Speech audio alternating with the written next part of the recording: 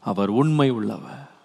அன்றைக்கு உண்மை உள்ளவர் நேற்றும் இன்றும் என்றும் மாறாதவராக இன்றைக்கு உண்மை உள்ளவராக இருக்கிறார். அல்லேலூயா ரெண்டாவது சத்தியத்தை இந்த ஒன்று குருந்தியர் பதினைந்தாம் அதிகாரத்தில் அப்போஸ்தலனாகிய பவுல் வெளிப்படுத்துகிறார். ஒன்று குருந்தியர் பதினைந்தாம் அதிகாரத்தில் பதினேழாம் வசனத்தை தயவு செய்து பாருங்க. பதினைந்து பதினேழு. கிறிஸ்து எழுந்திராவிட்டால் உங்கள் விசுவாசம் வீணாயிருக்கும் நீங்கள் இன்னும் உங்கள் பாவங்களில் இருப்பீர்கள். கிறிஸ்து எழுந்திராவிட்டால் உங்கள் விசுவாசம் வீணா இருக்கிறது மாத்திரம் இல்ல நீங்கள் இன்னும் உங்கள் பாவத்திலே தான் இருப்பீங்க.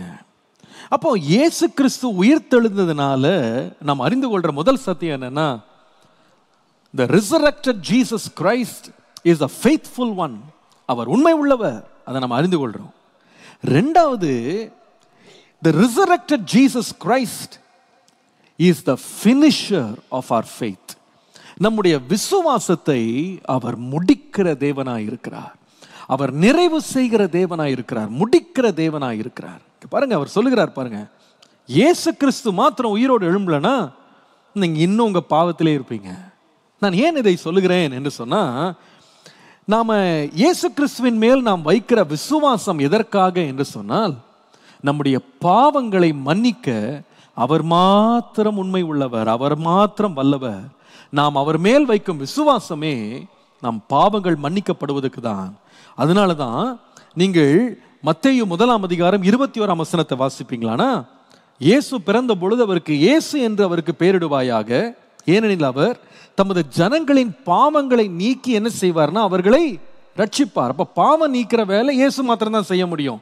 ஆனால் இந்த பாவம் நீங்க வேண்டுமானா யோவான் ஸ்நானகன் கூட நீங்கள் யோவான் ஒன்று இருபத்தி ஒன்பது வாசிக்கும் போது இயேசு வருகிறதை கண்டு அவன் இதோ உலகத்தின் பாவத்தை சுமந்து தீர்க்கிற தேவாட்டுக்குட்டின்னு சொன்னான். அப்போ பாவத்தை அவர் தான் நீக்க முடியும் பாவத்தை அவர் தான் சுமக்க முடியும். ஆனால் எப்போ சுமப்பார் எப்போ நீக்குவார் என்று சொன்னால் யோவான் மூன்று பதினாறு நமக்கு எல்லாருக்கும் தெரிந்த ஒரு வசனம் வேதம் சொல்லுகிறது. தேவன் தம்முடைய ஒரே பேரான குமாரனை விசுவாசிக்கிறவன் எவனோ அவன் கெட்டு போகாமல் நித்திய ஜீவனை அடையும்படிக்கு அவரை தந்தருளி இவ்வளவா என்ன பண்ணாரு?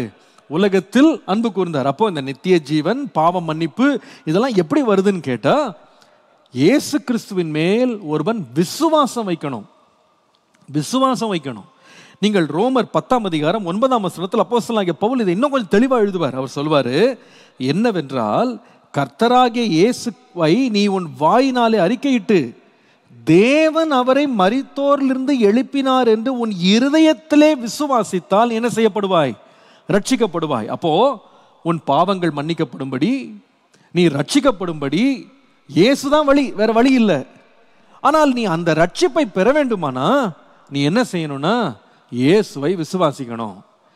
எந்த இயேசுவை விசுவாசிக்கணும்னா ஒரு ரெண்டாயிரம் வருஷத்துக்கு முன்னால உயிரோடு வாழ்ந்த இயேசுவை இல்லை. உனக்காக சிலுவையில் மரித்த இயேசுவை மாத்திரம் இல்லை.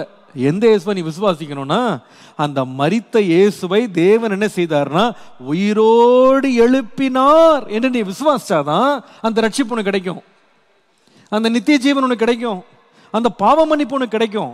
அப்போ அப்போஸ்தலனாகிய பவுல் இங்கே என்ன சொல்லுகிறாருன்னு சொன்னால் இயேசு மாத்திரம் உயிரோடு எழும்பலன்னா நீங்கள் அவர் மேல் வைக்கிற விசுவாசம் வீண்.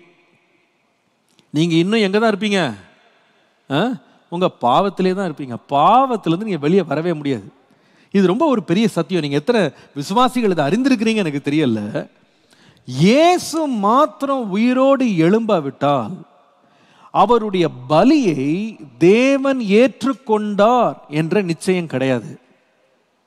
அதை அங்கீகரித்தார் அப்படின்ற நிச்சயம் கிடையாது. தேவன் நமக்காக ஒரே தரம் அடிக்கப்பட்டார். நமக்கு நித்திய ரட்சிப்பை கொடுத்தார் என்பதற்கு வேறே அடையாளமே இல்லை. ஒருவேளை இயேசு மாத்திரம் இன்றைக்கும் அதே கல்றையில் இருப்பாரானா? அவர் மறித்தவராகவே இன்றைக்கும் கல்றையில் இருந்து அவர் பூஜை செய்யப்படுவாரானால் அவர் வாக்கு பண்ணின ரட்சிப்பும் பொய் தான் ஏன்னா அவர் தன்னையே ரட்சித்துக்க முடியலையே. அவர் தானே பாவத்தின் சம்பளமாகிய மரணத்துக்கு அடிமையாயிட்டாரு. அதை மேற்கொள்ளலையே. அப்போ அவர் மேற்கொள்ள முடியாத மரணத்தை நான் எங்க மேற்கொள்றது? பாவத்தினால் உண்டான மரணத்தை அவர் மேற்கொள்ள முடியலன்னா ஏன் பாவத்தை அவர் பரிகரிப்பார்? நான் எப்படி விசுவாசிக்கிறது? அதற்கு முன்பாக இருந்த எல்லா தீர்க்கதரிசிகளும் தான் மறிச்சாங்க அதை போல தானே இயேசு மறிச்சிட்டாருன்னு நம்ம சொல்லுவோம்.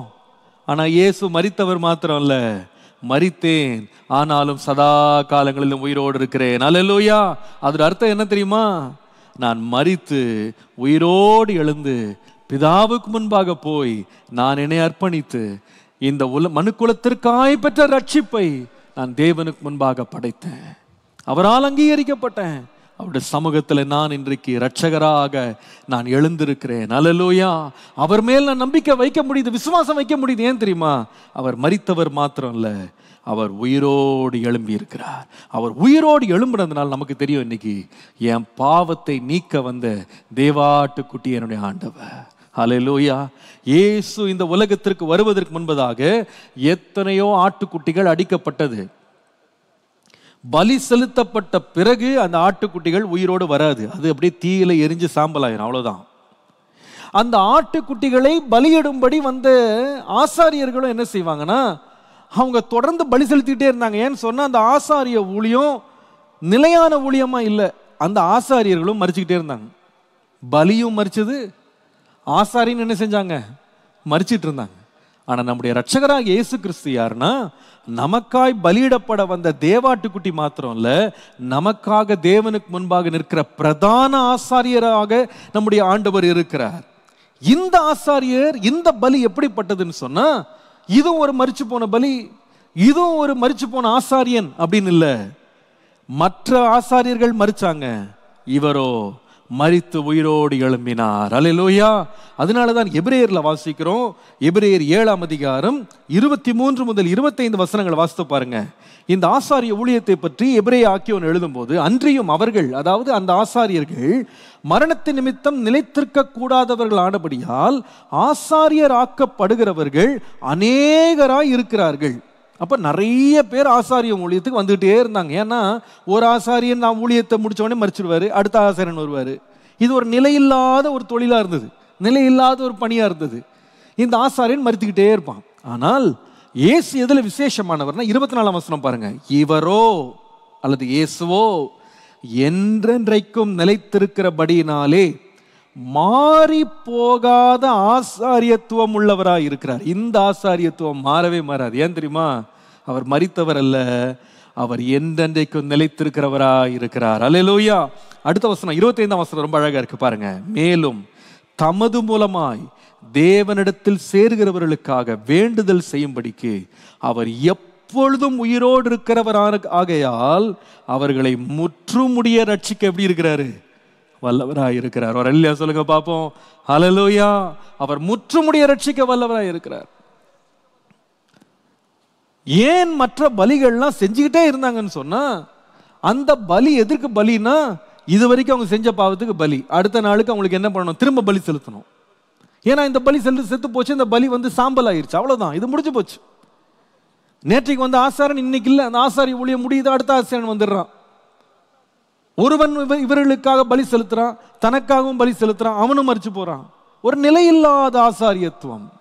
நித்திய ரட்சிப்புன்றது கிடையாது. எல்லாம் டெம்பரவரி தான். அவங்க லைஃப்ல ரிலீஃப் எல்லாம் டெம்பரவரி பாவம் மன்னிப்பு அவர்களோட வாழ்க்கையில் நிச்சயமாக நித்தியமாக இல்லை. நித்திய ரட்சிப்பு அவங்களுக்கு கிடைக்கல. அவங்க குற்றமான சாட்சியிலே வாழ்நாள்லாம் வாழ்ந்துகிட்டு தான் இருந்தாங்க. ஒரு நாள் அவங்களுக்கு விடுதலை கிடையாது. ஆனால் நித்திய ஆட்டுக்குட்டியாகிய ஏசு நமக்காக வந்தார். நித்திய பிரதான ஆசாரியராக அவர் இறங்கி வந்தார். அவர் மறித்தவர் மாத்திரம் இல்லை அவர் எந்தெந்தைக்கு உயிரோடு இருக்கிறவராக இருக்கிறார். அலையிலோயா! இன்றைக்கு அவர் என்ன செய்கிறார் தெரியுமாங்க? இன்றைக்கி என்ன செய்கிறார் தெரியுமா? மற்ற ஆசாரியர்கள்லாம் அன்றைக்கு யூதர்களுடைய ஆசாரியர்கள்லாம் என்ன பண்ணாங்கன்னா அவங்க ஒரு காலம் வரைக்கும் வேண்டுதல் செஞ்சுட்டே இருந்தாங்க ஜனங்களுக்காக. அப்போ அவங்க செத்து போயிட்டாங்க. அவ்வளோதான் நம்ம வேண்டுதல் நின்று போயிடும். நம்ம புது ஆசாரியர் வருவார். ஆனா நமக்கு ஒரு நித்திய பிரதான ஆசிரியர் உயிரோடு எழும்பியிருக்கார். அவர் என்ன பண்றாரு தெரியுமா? வேதம் சொல்லுகிறது. இந்த வசனம் பாருங்க இருபத்தைந்தாம் வசனம். தேவனிடத்தில் சேர்கிறவர்களுக்காக தம் மூலமாக தேவனிடத்தில் சேர்கிறவர்களுக்காக வேண்டுதல் செய்யும்படி எப்பொழுதும் உயிரோடு இருக்கிறாராம். இன்றைக்கு இந்த ஆசாரியர் மாறவே இல்லைங்க. ரெண்டாயிரம் ஆண்டுகளாக உயிரோடு எழும்பின இயேசு நித்திய ஆசாரியராக நமக்காக வேண்டுதல் செய்கிறார். அவர் தன்னையே பலி கொடுத்த ஆடாக அதே ஆடு உயிரோடு எழும்பி வந்து இன்றைக்கு நமக்காக ஜீவன் உள்ளதாய் நிற்கிறது. அலலூயா இந்த ஆடு என்ன சொல்லுகிறது தெரியுமா? என்னுடைய பலி அங்கீகரிக்கப்பட்டு விட்டது. என் பலியின் மேல் தேவன் பிரியமா இருக்கிறார். என் பலியினாலே பாவ மன்னிப்பை கொடுத்து விட்டார். இந்த பலி அங்கீகரிக்கப்பட்டு விட்டது. இது தேவனுக்கு முன்பாக என்றென்றும் நிற்கிற ஜீவனுள்ள பலியாக இருக்கிறது. நான் சொல்லுவேன் இந்த உயிர்த்தெழுதல் மாத்திரம் இல்லை என்றால் இயேசு மாத்திரம் உயிரோடு எழும்பவில்லை என்றால் அவர் ஆரம்பித்த ரட்சிப்பின் கிரியை நிறைவு பெற்றிருக்கவே பெற்றிருக்காது நான் ரட்சிக்கப்பட்டேன் நான் பாவத்திலிருந்து விடுதலையாக இருக்கிறேன் எனக்காக இன்றைக்கும் வேண்டுதல் செய்கிற ஒரு பிரதான ஆசாரி இருக்கிறார் நம்ம சொல்லவே முடியாது. நாம் என்னதான் பண்ணணும்னா ஒரு கல்லறைக்கு முன்னாடி போய் பூஜை பண்ணிட்டு தான் இருக்கணும். ஆனால் நம்ம அப்படி நிற்க வேண்டிய அவசியம் இல்லை.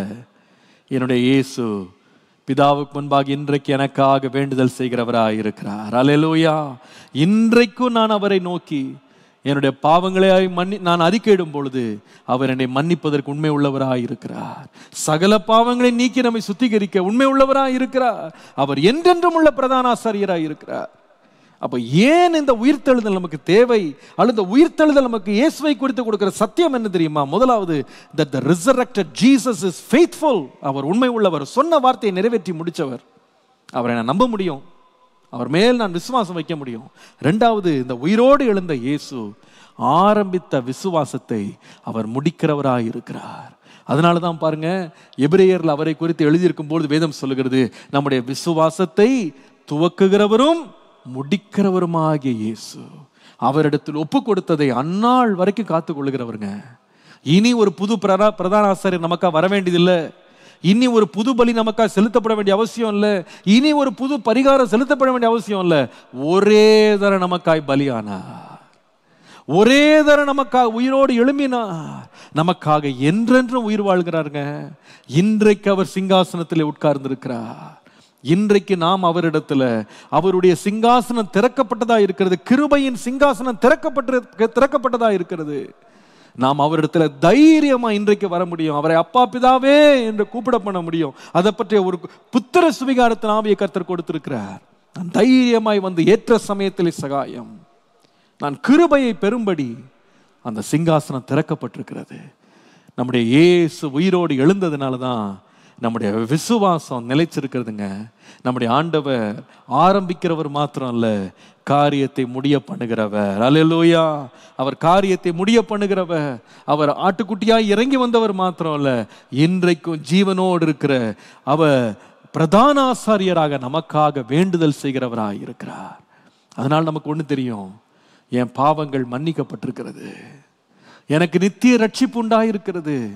என்னை ரட்சிக்க வந்தவர் ஜீவனோடு இருக்கிறார். அலலோயா என்னை ரட்சிக்க வந்தவர் ஜீவனோடு இருக்கிறார். ஒருவனை மீட்க வருகிற மீட்பு பணி செய்கிறவங்களே மறிச்சு போயிட்டாங்கன்னா அவன் எப்படி இன்னொருவனை மீட்க முடியும்?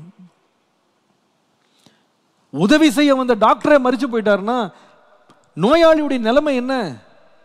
ஆனா நம்மை மீட்க வந்த தேவாட்டுக்குட்டி மறித்தவர் மாத்திரம் இல்லை தம்முடைய ஜீவனை நமக்காய் கொடுத்து அந்த ஜீவனை மறுபடியும் பெற்று உயிரோடு எழும்பி நமக்காக இன்றைக்கும் உதவி செய்கிறவராக வேண்டுதல் செய்கிறவராக நமக்காக பரிந்து பேசுகிறவராக என்றென்றும் உயிரோடு இருக்கிறார். அவர் ஆரம்பித்த ரட்சிப்பின் கிரியையை நிறைவேற்றி முடித்த தேவனாய் இருக்கிறார். அவர் கிரியை ஆரம்பித்து பாதியிலே விடலை வேற யார்கிட்டையும் குத்தக விடல அவரே இன்றைக்கு முடியும் அல்பாம் உமேகாவுமாக ஆதியும் அந்தவுமாக துவக்கம் முடிவுமாக அவர் இருக்கிறார். நீங்கள் இன்னைக்கு விசுவாசிக்க உங்கள் வாழ்க்கையில் கர்த்தர் ஒரு நற்கிரியை ஆரம்பிச்சிருப்பாரா? அதை செய்து முடிக்க அவர் உண்மை உள்ளவர். அவர் பாதியிலே விட்டு போகிறவர் அல்ல. பாதியிலே மறித்து போகிறவர் அல்ல. பாதியிலே கைவிட்டு போகிறவர் அல்ல. அந்த எம்மாவு சீஷர்கள் இதை அறியாதனால தான் அவங்க சொன்னாங்க நாங்கள் ரொம்ப இவரை நம்பி இருந்தோம் அவர் ரொம்ப நல்ல மனுஷங்க. அவர் நல்லா பேசினாரு. அவர் மறிச்சாருங்க அவர் மறிச்சு போயிட்டார். என்ன ஆச்சுனே தெரியல. அவர் உயிரோடு எழும்பவே இல்லைன்னு நினச்சிக்கிட்டு இருந்தாங்க. ஆனால் அவர்களோடு கூட இயேசு உயிரோடு எழுந்தவராக நடந்து வந்தார். வேத வாக்கியங்களை விளக்கி கொடுத்தார். அவர்களுக்கு முன்பாக அவர் தரிசனமானார். அவங்க மிகுந்த சந்தோஷத்தோடு ஓடினாங்க. அவங்களுக்கு இப்போ தெரியும். நான் இந்த இயேசுவை என் வாழ்நாளெல்லாம் நம்ப முடியும். ஏனால் ஆரம்பித்ததை முடிய பண்ணுகிற தேவன் என்னுடைய தேவன். அலையலோயா இன்றைக்கு உயிரோடு இருக்கிறார். The resurrected Jesus is faithful the resurrected Jesus finishes what he starts அவர் ஆரம்பிக்கிறதை நிறைவு செய்கிறவர். முடிவு பரியந்தம் கொண்டு போகிறவர். அவர் நிலையானவர் நித்தியமானவர். எவ்வளவு நல்ல தேவனை நாம் ஆராதிக்கிறோம். அலையலோயா கர்த்தருடைய பரிசுத்த நாமத்திற்கு மகிமை உண்டாவதாக. இந்த உயிரோடு எழுந்த இயேசு நமக்கு என்ன அறிவிக்கிறார் தெரியுமா? முதலாவது சத்தியம் அவர் உண்மை உள்ளவர். ரெண்டாவது விசுவாசத்தை முடிக்கிறவர். மூன்றாவது அவர் வெளிப்படுத்துகிற மூன்றாவது முக்கியமான சத்தியம் என்ன தெரியுமா? ஒன்று கொரிந்தியர் பதினைந்தாம் அதிகாரம் பதினெட்டு முதல் இருபதை வாசிக்கிறேன் கவனியுங்கள். ஒன்று குறைந்தியர் பதினைந்து பதினெட்டு முதல் இருபது வசனங்கள். கிறிஸ்துவுக்குள் நித்திரை அடைந்தவர்களும் கெட்டிருப்பார்களே. இம்மைக்காக மாத்திரம் நாம் கிறிஸ்துவுமே நம்பிக்கை உள்ளவர்களாய் இருந்தால் எல்லா மனுஷரை பார்க்கிலும் பரிதபிக்கப்படத்தக்கவர்களாய் இருப்போம்.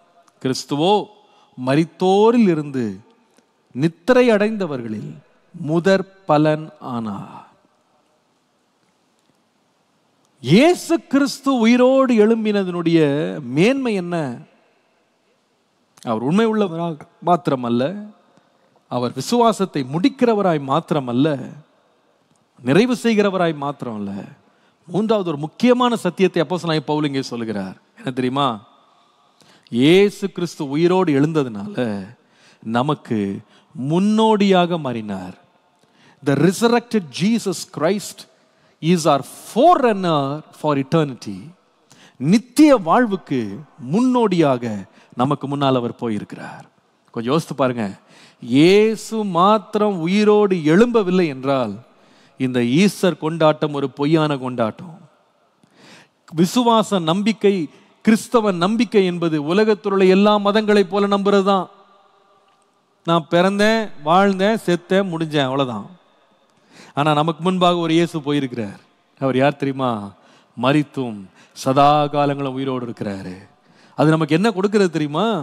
என் இயேசு மரித்து உயிரோடு எழுந்திருப்பார் ஆனால் அவருக்குள்ளே நான் மறுபடி பிறந்திருக்கிற நானும் மறித்தாலும் என்றென்று நான் பிழைப்பேன். அல்லையா இயேசு லாஸ்ருவின் கல்லறை அண்டையிலே சொன்ன வார்த்தைகள் தான் என்னை ஒருவன் விசுவாசித்தால் அவன் மறித்தால் என்ன செய்வான்? பிழைப்பான். இந்த மரணத்தை நான் தாண்டி இந்த மரணத்தை தாண்டி அந்த மரணத்தை ஜெயித்து நான் உயிரோடு எழும்புனது போல நீங்களும் என்ன விசுவாசி என்ன பின்பற்றி வந்தீங்கன்னா நீங்களும் மறிப்பீங்க மறிக்காமலாம் இருக்க மாட்டீங்க. ஒருவரும் மறிக்காம இருக்க முடியாது. எல்லா மனுஷனும் மறிக்கணும்னு தேவனால் நியமிக்கப்பட்டிருக்கிறது. ஏசு அந்த மரணத்தை ருசி பார்த்தார் நாமளும் ருசி பார்ப்போம். ஆனால் ஒரு பெரிய நம்பிக்கை இருக்கு. இந்த மரணம் மற்றவர்களுக்கு மற்றவர்களுக்கு போல நமக்கு ஒரு முடிவு கிடையாது. இதை எழுதின அப்போஸ்தலனாகிய பவுலும் மறித்தாரு ஆனா என்ன நம்பிக்கையோடு மறித்தார் தெரியுமா? நான் மறித்தாலும் இயேசுவோடு எந்தென்று நான் உயிரோடு இருப்பேன். ஏன் தெரியுமா? இந்த நம்பிக்கை ஏன் தெரியுமா? இந்த உயிர்த்தெழுதலையும் நித்திய வாழ்வையும் அறிவித்த இயேசு மரணத்தை ஜெயித்தார். மரணத்தை ஜெயித்தார். நாம் ஏற்கனவே நான் வாசித்த தெரிந்த வசனத்தை மறுபடியும் உங்களுக்கு நான் சுட்டி காண்பிக்கிறேன். யோவான் எழுதின சுவிசேஷம் மூன்றாம் அதிகாரம் பதினாறாம் வசனத்தை வாசித்தா தேவன் தம்முடைய ஒரே பேரான குமாரனை விசுவாசிக்கிறவன் எவனோ அவன் கெட்டு போகாமல் நித்திய ஜீவனை அடையும்படிக்கு அவரை தந்தருளி இவ்வளவா என்ன செய்தார்? உலகத்தில் அன்பு கூர்ந்தார். இப்போ ஏசு என்ன பிரசங்கம் பண்ணாரு? ஏசு என்ன வாக்கு பண்ணாரு? ஏசு நமக்கு என்ன கொடுக்கிறாருன்னா கெட்டு போகாமல் என்ன கிடைக்குமா? நித்திய ஜீவனை அடையும்படிக்கு அவர் தன்னை தந்தருளினான்னு சொல்லி வாசிக்கிறோம். அப்போ இயேசு வந்து நித்திய ஜீவனை கொடுக்குறேன்னு சொன்னா முதல்ல யாருக்கு இருக்கணும் நித்திய ஜீவன்? அவருக்கு இருக்கணும். அவருக்கே வேலை செய்யாது நமக்கு எப்படி வேலை செய்யும்? அவருக்கே நடக்காதவன் நம்மளுக்கு எப்படி நடக்கும்? இன்னைக்கு கிறிஸ்தவ வாழ்க்கை என்பது இந்த உலகத்தில் உள்ள எந்த மதத்துக்கு இல்லாத ஒரு நம்பிக்கை ஏன் நமக்கு இருக்கு தெரியுமா? நிறைய பேர் என்னென்னமோ பேசலாங்க. நாங்களும் உயிரோடு வருவோம்னு என்ன வேணா பேசிக்கலாம். இன்னைக்கு நிறைய பேர் சொல்றாங்க பாருங்க நாங்கள் எப்படி இருப்போம்னா பரலோகத்தில் வந்து அநேக கன்னிகைகளோடு இருக்க போகிறாங்களாம் சில பேர் சொல்கிறாங்க நித்திய வாழ்வில் அநேக கன்னிகைகள் எங்களுக்காக காத்துக்கிட்டு இருக்காங்க. நீங்கள் என்னன்னா பிரசங்கம் பண்ணிட்டு போங்க. உயிரோடு எழும்பினது யார்? நீங்கள் சொல்லுகிற தீர்க்கதரிசி உயிரோடு எழும்பினாரா? எழும்பலையே. மறிச்சு போயிட்டார்ல. அவர் பண்ண உபதேசம் என்ன உபதேசமாக இருக்கலாம்? அவர் உயிரோடு எழும்பாத போது எப்படிங்க நம்புகிறவங்க நீங்கள் உயிரோடு எழும்புவீங்க? அவர் மறித்தோர்லேருந்து எழும்பலல்ல? ஆனால் நம்முடைய ரட்சகராக இயேசு சும்மா உயிர்த்தெழுதலை பற்றி பேசுகிறவர் இல்லை. அவர் சொன்னார் உயிர்த்தெழுதலை பற்றி பல உபதேசங்களை இயேசு நமக்காக அவருடைய புதிய ஏற்பாட்டு சுவிசேஷங்களை வாசிக்கிறோம். உயிர்த்தெழுதலை பற்றி பிரசங்கம் பண்ணவர் மாத்திரம் இல்லைங்க. அவர் முதலாவது நமக்கு முன்னேடு முன்னோடியாக அவர் உயிரோடு எழுந்து முன்னால் போனார். அலையலூயா ஜான் மேக்ஸ்வெல் என்று சொல்லுகிற ஒரு பெரிய ஒரு தேவ மனுஷன் வந்து தன்னுடைய புஸ்தகத்தில் அவர் இப்படி எழுதுறாரு. உண்மையான தலைவன் ட்ரூ லீடர் யாருன்னு சொன்னா he knows the way he shows the way he goes the வேன்னு சொன்னார். அவன் வழியை அறிந்திருக்கிறானா? அந்த வழியை மற்றவங்களுக்கு காண்பிக்கிறானா? அந்த வழியில் முதலாவது அவன் போகிறானா இன்னைக்கு நிறைய பேர் வழியை அறிந்தது போல பேசுகிறாங்க வழியை காட்டுறேன்னு சொல்லிட்டு இருக்காங்க ஆனால் தாங்க அந்த வழியில் போல. தெய்வம் என்று சொல்லி கொண்டவங்க எத்தனையோ பேர். அவங்க தாங்க வழி என்று தங்களை காண்பிக்க நினைக்கிறாங்க. எத்தனையோ சத்தியங்களை போதிக்கிறாங்க. ஆனால் அந்த வழியில் அவங்க நடக்க முடியல. மறித்தவங்க மரித்தவங்களாவே இருக்கிறாங்க. அவங்க கல்லறைகள் மூடப்பட்டதாக இருக்கு. ஆனால் ஏசு கிறிஸ்து நமக்கு வாக்கு பண்ணினது நித்திய ஜீவன். அவரை விசுவாசிக்கிறவன் எவனோ அவன் கெட்டு போகாமல் நித்திய வாழ்வை அடைவான். எப்படிங்க நித்திய வாழ்வு கிடைக்கும்? ஏசு சொல்லலை நான் கூட வெயிட் பண்ணுறேன்ப்பா எனக்கு முதல்ல நித்திய ஜீவன் வரட்டும். நான் உயிரோடு எழும்புறேன். ஒரு ரெண்டாயிரம் வருஷம் மூவாயிரம் வருஷம் காத்துருங்க. அதுக்கப்புறமா நான் எழும்பின பிறகு உங்களெல்லாம் கூட்டு போறேன்னு சொல்லலை. அவர் முன்னாலேயே சொன்னாரு நான் மறித்து அடக்கம் பண்ணப்படுவேன். மூன்றாம் நாளில் உயிரோடு எழும்புவேன். அவர் யாரா போறாருன்னா நமக்கு முன்னோடியாக போகிறார். அதனால தான் அப்போஸ்தலனாகிய பவுல் சொல்றாரு இயேசு கிறிஸ்து மாத்திரம் உயிரோடு எழும்பாவிட்டால் நாம் யாராக இருப்போம்னா நாமளும் நித்திரை அடைந்தவர்களாக நமக்கு முன்பாக மறித்தவர்கள் எல்லாரும் என்ன பண்ணியிருப்பாங்கன்னா கெட்டு போயிருப்பாங்க. வாசிங்க அந்த வசனத்தை. ஒன்று குருந்தியர் பதினைந்து பதினெட்டு. கிறிஸ்துவுக்குள் நித்திரை அடைந்தவர்கள் என்ன செஞ்சுருப்பாங்க? கெட்டு தான் போயிருப்பாங்க நாமளும் கெட்டு தான் போயிருப்போம். இன்னும் மோசம் என்னன்னு கேட்டிங்கன்னா அடுத்த வசனம் ரொம்ப அழகாக எழுதுறாரு. பத்தொன்பதாம் வசனத்தில் அவர் சொல்றாரு ஒன்று கொரிந்தியர் பதினைந்து பத்தொன்பதில் இம்மைக்காக மாத்திரம் நாம் கிறிஸ்துவின் மேல் நம்பிக்கை உள்ளவர்களாக இருந்திருந்தோமானால் எல்லா மனுஷரை பார்க்கிலும் பரிதபிக்கப்படத்தக்கவர்களாக இருந்திருப்போம். அதாவது என்ன பேசி என்ன பிரசங்கம் பண்ணி என்னங்க பிரயோஜனம்? எல்லாம் முடிச்சதுக்கப்புறமா நித்திய வாழ்வு மாத்திரம் இல்லைன்னா என்ன பரிதாபம் நம்ம பிரசங்கம்? நம்முடைய ரட்சகர் மாத்திரம் உயிரோடு எழும்பலாம் என்ன க- தொண்டை தண்ணி வாங்க பிரசங்கம் பண்ணி என்ன பிரயோஜனம்? நம்பிக்கை பற்றி பேசி என்ன பிரயோஜனம்? நாமும் கெட்டு தான் போக போகிறோம் ஆனால் நம்ம கெட்டு போக போகிறதில்ல நமக்கு ஒரு பெரிய நம்பிக்கை இருக்கு. ஏசு உயிரோடு எழும்பினது போல நம்மை அவர் உயிரோடு எழுப்ப வல்லவராக இருக்கிறார் அல்லேலூயா! கர்த்தருடைய பரிசுத்த நாமத்திற்கு மகிமை உண்டாவதாக. அதனால தான் அப்போசலாகி பவுல் இதை வந்து தன்னுடைய வாழ்க்கையோடு அவர் வந்து சம்மந்தப்படுத்தி பேசும்போது அதே அதிகாரம் ஒன்று குறைந்தியர் பதினைந்து முப்பத்தி ரெண்டு வாசித்தீங்கன்னா ரொம்ப அழகாக சொல்கிறார் அவர் சொல்கிறாரு நான் எபேசுவிலே துஷ்ட மிருகங்களுடனே போராடினேன் என்று மனுஷர் வழக்கமாய் உங்களுக்கு நான் சொல்கிறேன் துஷ்ட மிருகம்னா அவர் சொல்லுகிறது வந்து அவருடைய ஊழியத்துக்கு விரோதமாய் செயல்பட்ட துன் துன்மார்க்க மக்கள். துஷ்ட மிருகங்களோடு போராடினேன் என்று மனுஷர் வழக்கமாக சொல்கிறேன் அப்படி போராடினதுனாலே எனக்கு என்ன பிரயோஜனம்? இவ்வளோ கஷ்டப்பட்ட ஊழியத்தில் போராடினங்க சகிச்சாங்க நான் வந்து தியாகம் பண்ணங்க கொடுத்தங்க நான் இழந்தங்க நான் பிரயாசப்பட்டங்க சோதிக்கப்பட்டங்க நான் நிர்வாணமாக இருந்தாங்க பசியாக இருந்தாங்க இவ்வளோ பாடுபட்ட ஊழியத்தில் இவ்வளவு போராடி இவ்வளோ பிரயாசப்பட்டு இவ்வளவு இழந்து இவ்வளோ கஷ்டப்பட்டு கண்ணீர் சிந்தி எல்லா பாடுபட்டு கடைசியில் என்ன பிரயோஜனம்? அவர் சொல்லுகிறாரு எனக்கு என்ன பிரயோஜனம்? மறித்தோர் உயிரோடு எழாவிட்டால் நாமளும் மற்றவங்களை போல புசிப்போம் குடிப்போம். நாளைக்கு சாவோம் என்று சொல்லலாமே. நாமளும் மற்றவங்கள போல பரிதபிக்கப்படத்தக்கவர்கள் தாங்க. என்னதான் மேலதாளம் வாசித்து கொண்டு போனாலும் நம்பிக்கை இல்லையே. ஏன் நம்பிக்கை இல்லைன்னா அவங்க ஆராதிக்கிற தெய்வம் ஒன்று கூட உயிரோடு எழும்பலையே. அவங்க நம்பிக்கைகளில் ஒன்று கூட உயிரோடு வரலையே திரும்ப. உயிர்த்தெழுதலை பற்றி போதகம் பண்ணுறது யார் வேணால் பேசலாம். ஆனால் பண்ண போதகத்தை நீ செஞ்சியாப்பா? நீ காமிச்சா அவன் வாழ்க்கையில்? இல்லையே. நம்முடைய ரட்சகராக இயேசு உயிர்த்தெழுதலை போதித்தவர் மாத்திரம் அல்ல அவர் உயிரோடு எழும்பினார். சீஷர்களுக்கு தன்னை வெளிப்படுத்தினார். ஐநூறு பேருக்கு ஒரே முறை தரிசனமானார். அகால பிறவியான பவுலுக்கும் அவர் தரிசனமானார். அவன் தமஸ்குவுக்கு போகும் வழியிலே சடுதி ஒளியாக ஜீவனுள்ள தேவனாக அவர் தரிசனமானார். சவுலே நீ துன்பப்படுத்துகிற இயேசு கிறிஸ்து நானே என்று சொன்னாரு. ஸ்தேவான் என்கிற அப்போஸ்தலன் அவன் கல்லறிந்து கொல்லப்படும் பொழுது அவன் கண்கள் திறக்கப்பட்டு அவன் வானத்தை அண்ணார்ந்து பார்த்தபோது வானம் திறக்கப்பட்டதையும் இரட்சகராகிய இயேசு கிறிஸ்து பிதாவின் வலது பரிசத்தில் எழுந்து நிற்கிறதையும் அவன் கண்டான். அவனுக்கு என்ன ஒரு மகிழ்ச்சி வந்துச்சு தெரியுமா? அவன் மேல விழுந்த கல்லு கூட அவனுக்கு பெரிய வேதனையா தெரியல. சுற்றி உள்ள மக்கள் பல்ல கடிச்சது அவனுக்கு பெரிய பிரச்சனையா தெரியல. ஏன் தெரியுமா? அவனுக்கு ஒன்று தெரியும். எனக்காக இயேசு உயிரோடு நிற்கிறாரு. அவர் உயிரோடு இருப்பார் ஆனால் என்னையும் உயிரோடு அவர் வாழ வைப்பார்.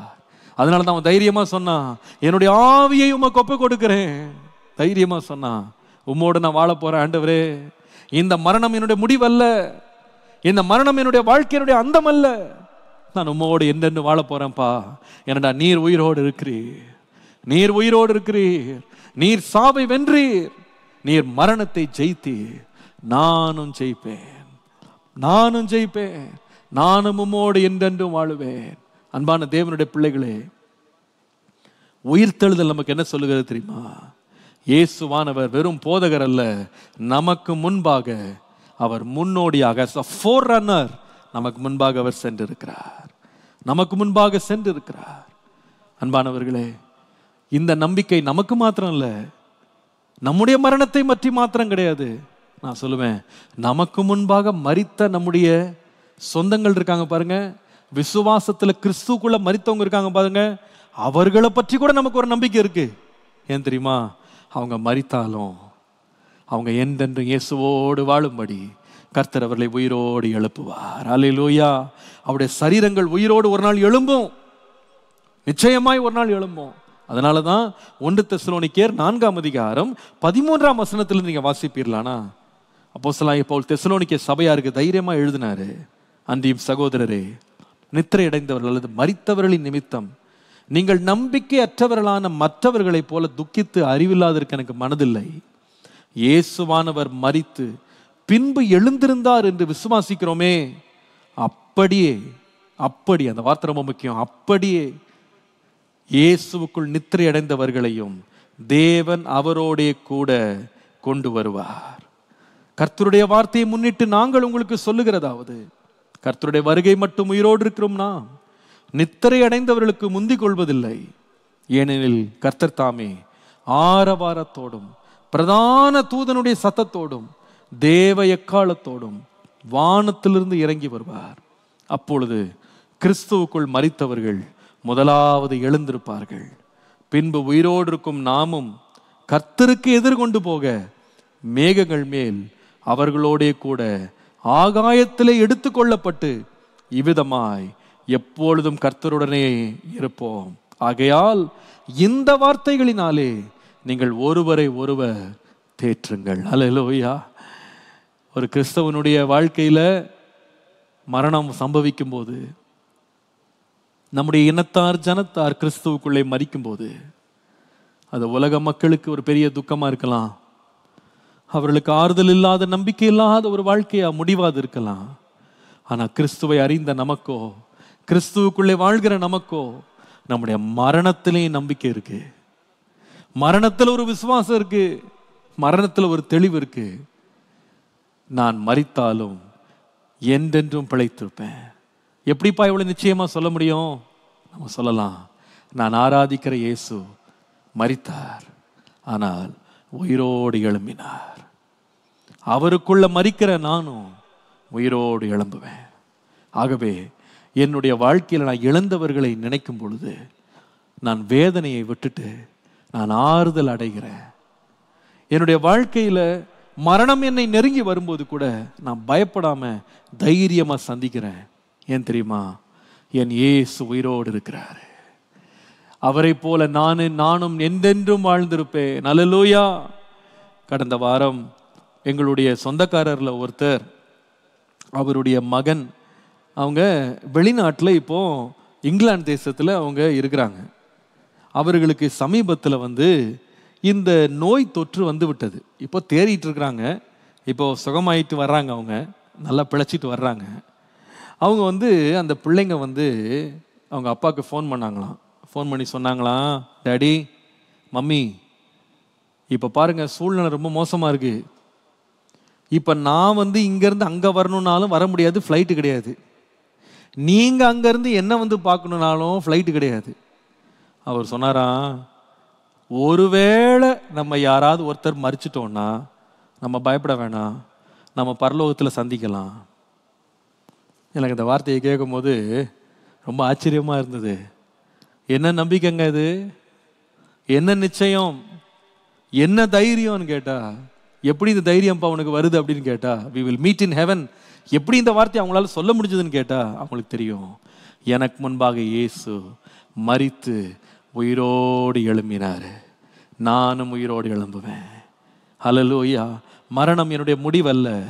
என்னை நித்தியத்திற்காக தேவன் அழைத்திருக்கிறார். அவர் நித்தியராய் இருக்கிறது போல நானும் நித்தியமாய் வாழுவேன். ஹalleluya ஏசு கிறிஸ்து சிலுவையிலே மறித்தார் அவர் மறித்தோரிலிருந்து உயிரோடு எழுந்தார்.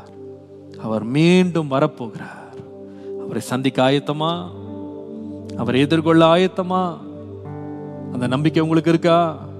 அவரோடு எந்தென்றும் வாழுவே ஹalleluya அவர் வரும் நாளிலே என்னை கரம் அசைத்து அன்பாய் கூப்பிட்டு சேர்த்து கொள்ளுவார். அவருடனே நான் என்றென்றும் வாழுவேன். எவ்வளோ பெரிய நம்பிக்கை தெரியுமாங்க? நான் மகிழ்ச்சியோடு கர்த்தருக்கு முன்பாக நான் இருக்கலாங்க. என் ஏசு உயிரோடு எழுந்தார். அலையலூயா நன்றி உள்ளவர்களாக நம்முடைய வீடுகளை எழும்பி நிற்போமா? உயிரோடு எழுந்தவர் உண்மை உள்ளவர். உயிரோடு எழுந்தவர். என் விசுவாசத்தை நம்பிக்கையை முடிக்க பண்ணுகிறவர். உயிரோடு எழுந்தவர். ஜீவனுள்ளோருக்கு முன்னோடியானவர். மரணத்திலிருந்து ஜெயித்து முதற்பலனானவர். நானும் அவரை பின்பற்றி அவருக்கு பின்பாக செல்வேன் அலலூயா அவர் வரும் நாளிலே என்னை கரமசைத்து அன்பாய் கூப்பிட்டு சேர்த்து கொள்வார். அவர் வரும் நாளிலே என்னை கரமசைத்து அன்பாய் கூப்பிட்டு சேர்த்து கொள்வார். அவர் சமுகமதில் அங்கே அவருடனே பாடி பாடி மகிழ்ந்திடுவே அவர் சமூகமதில் அங்கே அவருடனே ஆடி பாடி மகிழ்ந்திடுவே இந்த பாடலை நம்ம துக்கமா இல்ல ஒரு மகிழ்ச்சியோட பாடலாம். அலையிலோயா என் இயேசு உயிரோடு எழுந்தது போல நானும் உயிரோடு எழும்புவேன். அவரை உயிரோடு நான் சந்திப்பேன். நான் ஜீவனோடு இருந்து இயேசுவின் வருகையை நான் காண்பேன் ஆனால் நான் மறித்தவனாக அல்ல. என் வாழ்க்கை முடிய போறதில்ல. நித்தியமா என்னென்ன இயேசுவோடு வாழப் போகிறேன் அதுதான் உயிர் தெழுதல் கரங்களை தட்டி பாடுவோம். அலலுயா அவர் வரும் நாளிலே என்னை கரம் அசைத்து அன்பாய் கூப்பிட்டு சேர்த்து கொள்வார்.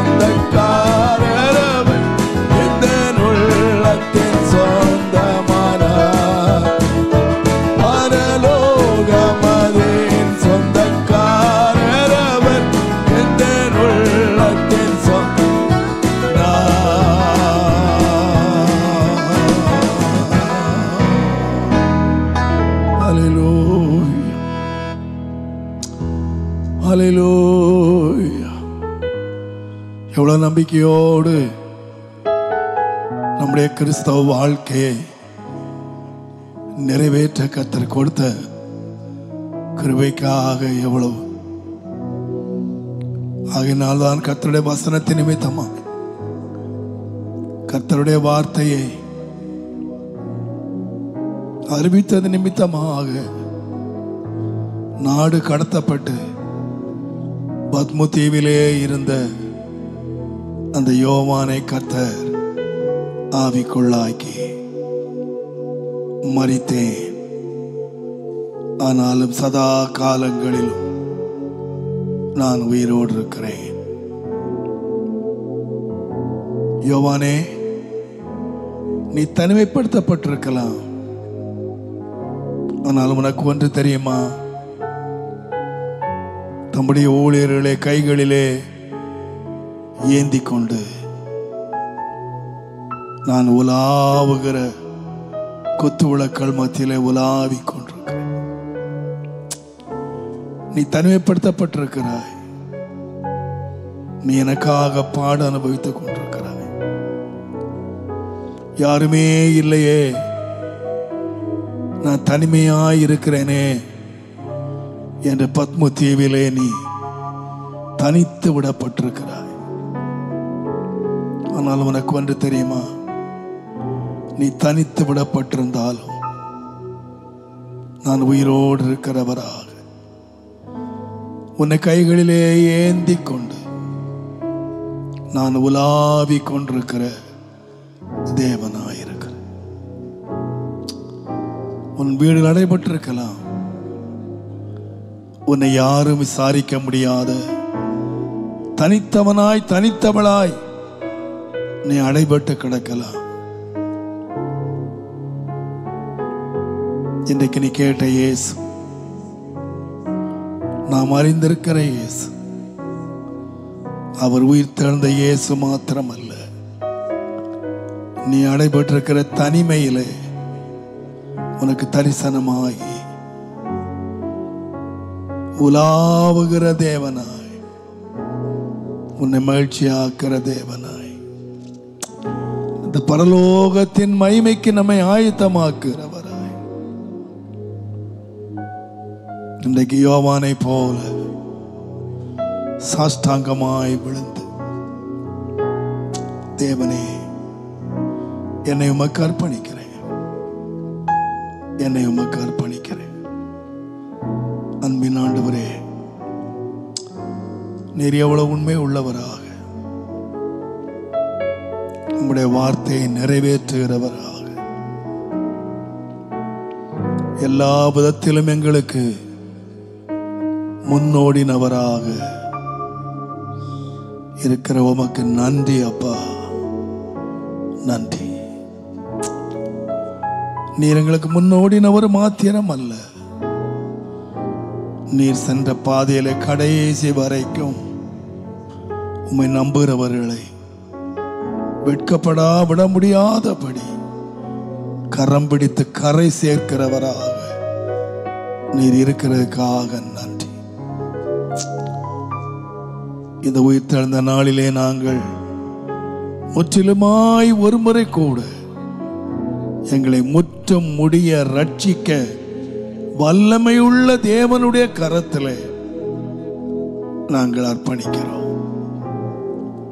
இதுவரைக்கும் எங்களை ரட்சித்தீர். எங்களை பாதுகாத்தீர். கடைசி வரைக்கும் ரட்சிக்கிற கத்தருடைய கரத்தில் நாங்கள் அர்ப்பணிக்கிறோம். கரம் பிடியும் நடத்தும் ஆசீர்வதியும். இயேசுவின் நாமத்தில் பிதாவே ஆமே ஆமே நம்முடைய கர்த்தராய் இயேசு கிறிஸ்துவனுடைய கிருபை பிதாவாகிய தேவனுடைய அன்பும் பரிசுத்தாவியானவருடைய அந்நியோனி ஐக்கியமும் சமாதானமும் பாதுகாப்பும் வழிநடத்தலும். நம்முடைய ஆண்டவராக இயேசுவின் வருகை மட்டும் நம் அனைவரோடும் இருப்பதாக. ஆமே ஆமே நம்ம எல்லாரும் சொல்வோம் என் ஆத்துமாவே கர்த்தரை ஸ்தோத்திரி. என் முழு உள்ளமே அவருடைய பரிசுத்த நாமத்தை ஸ்தோத்திரி. என் ஆத்துமாவே கர்த்தரை ஸ்தோத்திரி. கர்த்தர் செய்த சகல உபகாரங்களையும் மறவாதே. அவன் அக்கிரமங்கள் எல்லாவற்றையும் மன்னித்து நோய்களை எல்லாம் குணமாக்கி பிராணனை அழிவுக்கு விலைக்கு மீட்டு கிருபையினால் இரக்கங்களினால் முடிசூட்டி நன்மையினால் வாயை திருப்தி ஆக்குகிறார் கழுதைக்கு சமானமாய் வயது திரும்ப வாழ வயது போல் ஆகிறது. ஆமேன் ஆமேன் ஆமேன். கத்தவங்களை ஆசீர்வதி